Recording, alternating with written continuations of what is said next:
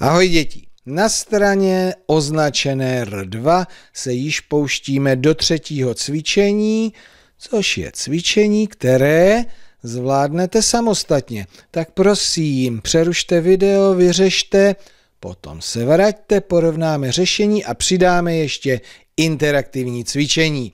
Tak prosím, dejte se do práce.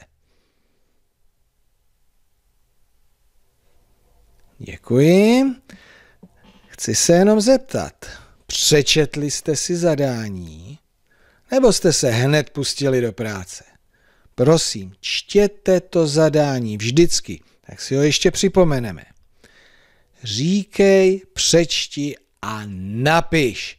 Tak a nyní se podíváme na řešení. Vy jste si řekli, že na obrázku je pero, přečetli jste si nabídku slabik, pero, la, vybrali jste slabiky P, ro a napsali jste postupně P, R, O. Na dalším řádku ruka, nabídka sí, ruka, ruka, r, u, k, a. Chlapec, hm, ale jak se jmenuje? Roman, vy? Roman. R, O, M, a N. Máte? Výborně. Porek, zuporek, porek. P, O, R, E, K. Výborně.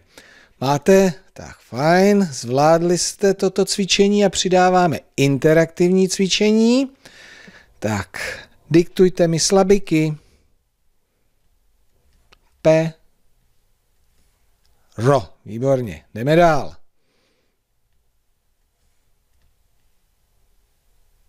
No, kde to je? Tady. Teď jsem to nemohl najít. Složili jsme slovo ruka.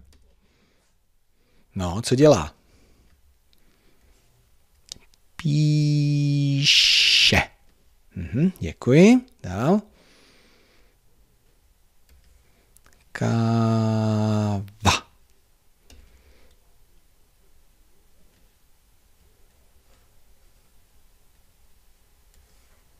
Dudy. No. Tak, teďka vozí nebo veze. Říkáte veze, tak ve, jo, drží to tam. A máme tady někde ze, jo, tady. Aha, veze kočárek. Tohle je. Aha, po slabikách. Tak, fajn, tohle zvládáte. A ještě se podíváme sem. Aha, tady jsou ty samé obrázky, ale nyní už mi to budete diktovat po písmenech. Tak jedeme. Dobře. Další, drží to tam. Složili jsme slovo pero.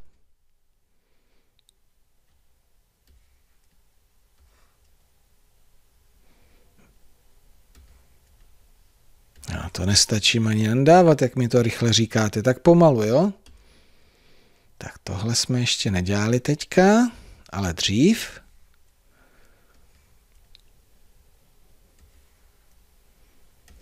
Mhm. Šála. A tohle jsme skládali už hodně dávno. Sako, že jo? A teďka písmeno. Aha. Máme slovo sako.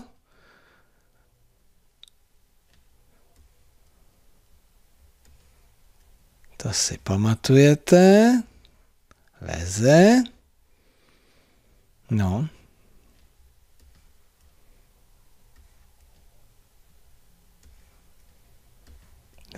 Výborně. Tak, třetí cvičení máme za sebou. A vy jste ho zvládli.